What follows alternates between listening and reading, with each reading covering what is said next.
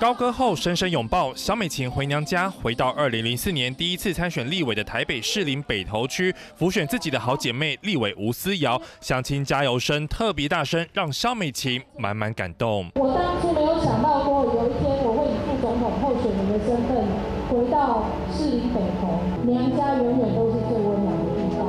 我永远欠美琴很多很多的感谢。自从我自己参选，我真的深刻体会。我当年没有对美琪多体谅一点，很对不起。我们就组成了台版霹雳娇花，秀出将近二十年前的老照片，吴思瑶感动到哽咽落泪。肖美琴仔细看，似乎很多回忆涌上心头。过去争取的女棒、同志团体、动保团体都上台力挺肖美琴，还有台发、台德混血青年高呼动算。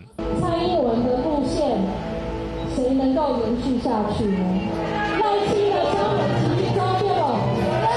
强调延续蔡总统路线，小美琴不止回娘家陆战浮选小鸡，她也积极拓展年轻选票，应邀前往台北大学跟青年座谈，分享深耕地方以及外交经验。让两个党都一样挺我们，让台湾成为一个团结大家的议题，而不是这个会被当作分化的工具。该低调，该高调哦。那有时候该柔软哦，像猫一样的柔软，但是步伐要坚定。